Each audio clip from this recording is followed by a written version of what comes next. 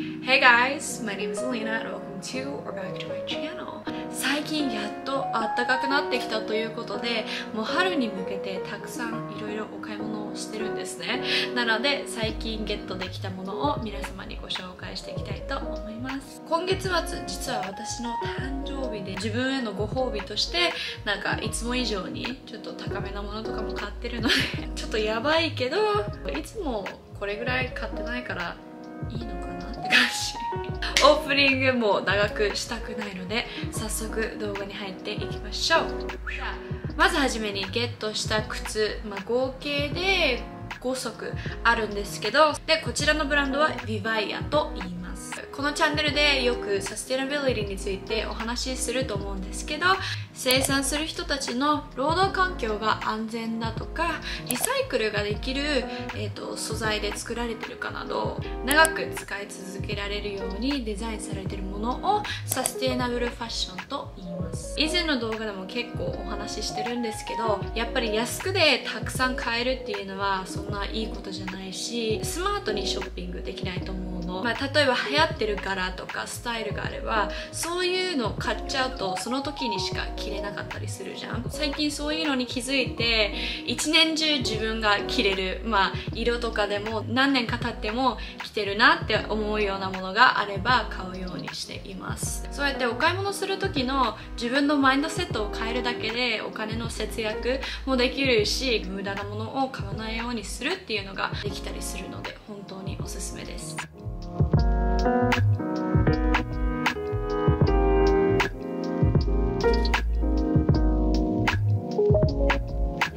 ビワイアっていうブランドの靴。1つ目のペアはこちらです。最近なんかいろんなスタイルにあの試していきたいなと思っていて私がよく見る YouTuber さんがフラットとかこういうちょっとヒール少ししかないものを履いたりするの。こちらのヒールはあのシャネルのフラットにすごい似てるなと思ってゲットしたんで一緒の色を選んじゃったんですけどこっちはフラット。もう春夏絶対毎日履けるものだと思うの。この色の靴を選んだ理由としてはこれ足をきれいに見せてくれるんですよ。あと長くやっぱ身長漏れないんだったら綺麗に見せたいかなって思って。こっちは新しいデザインのもので、えー、とこうやって取れちゃうの。自分の気分によってリボンつけたい日にはこうやってちょってクリップみたいになってるんでつけて自分のスタイルじゃないかなって思ったらこうやって簡単に取り外しができます。クッションもすごい工夫されてるので、まあ、履いてて痛くならないと思います。ビバイアってデザインが可愛いだけじゃなくてもう靴が全てリサイクルされたペットボトルで作られてるそうなの。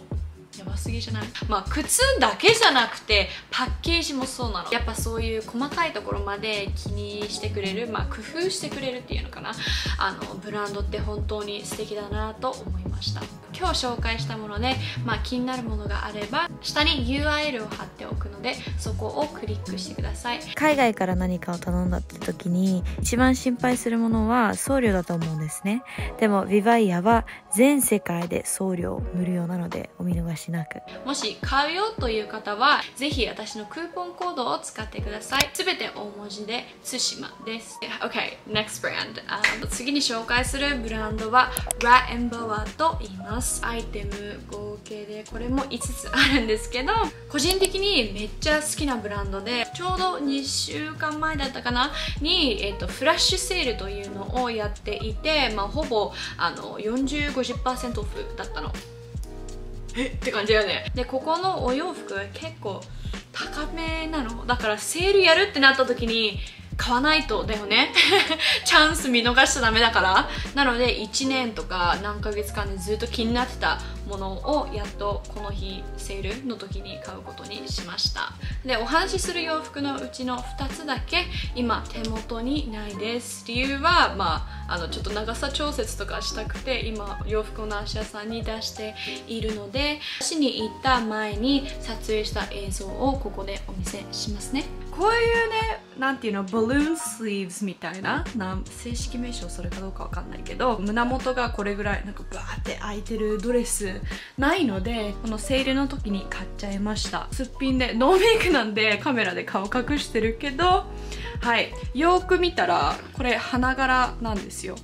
めっちゃ可愛くない？ディテールもこのボタンもいいし。サイズはアメリカのゼロだったら XXS 一番小さいサイズ。おすすめします。えっ、と私は今そのサイズを着てるんだけどここの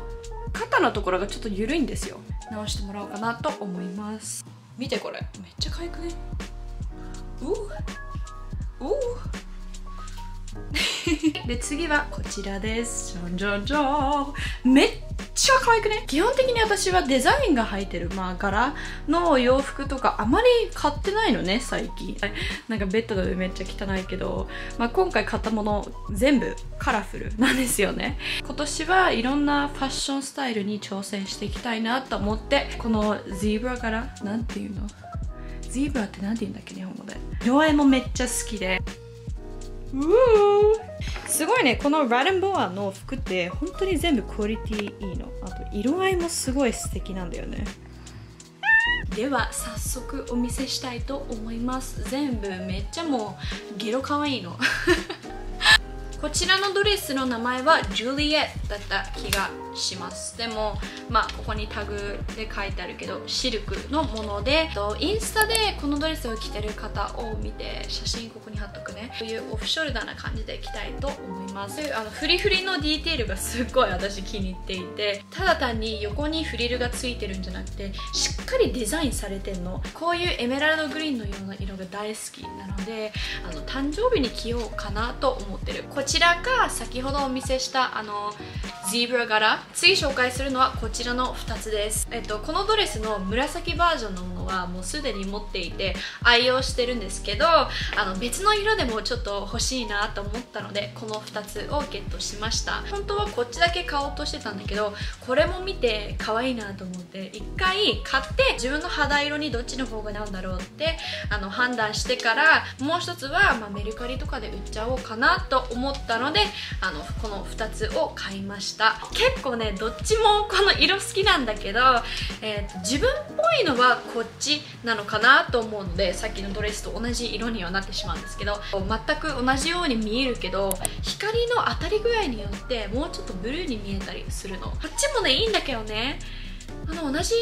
全く同じドレス3つ持っててもちょっとえって感じなんで。なのでもしこのドレス気になる方は私のメルカリでチェックしてください。結構最近そっちの方で載せているので。えーと、次はクラップショップブティークというブランドのものなんですけどこれはアクティブウェアです。最近新しいジムウェアとか変えてなくてあのフォローしてるインスタグラマーさんが、えーと、このブランドとコラボしたものを載せていてたのはこちらの2つのセットです。こういう、えーと、トーピーというかテンこの茶色っぽいセット。とあとはアイボリーのセット。えーとアイボリーのセットの方はこのバイカーショーツとこのこちらのブラを合わせて購入したんですけどバイカーショーツも長すぎなくて短すぎないちょうどいい長さでカットする時って結構生地が伸びるじゃん。でも全然あの透けない感じなのでこれは、えっと、普段私が着てるトレーニングブラよりもカバーしてくれるのでパーボーイ上半身のあのワークアウトをメインにする日にはこれを着ようかなと思います。このトップスすごい胸が漏れるの。えっ、とトップスのサイズは S にして、えーと、ズボンは XS にしました。トップスも全然 XS でいけたと思うんですけど購入した時にちょっと在庫がなかったので S にしました。こちらのネギンスも全然スクワットしても透けないしあのウエストのところをねすごいシュッてしてくれるの。しっかり引き締めてくれるデザインになってるので運動とかしても可愛い気分でいられるのがすごいいいですよね。これで購入品紹介は終わりです。最後まで見てくれてありがとうございます今日紹介したものでもしあのお気に入りとかあれば下のコメント欄でぜひ教えてください Thank you guys so much for watching and I'll see you guys in my next video Bye!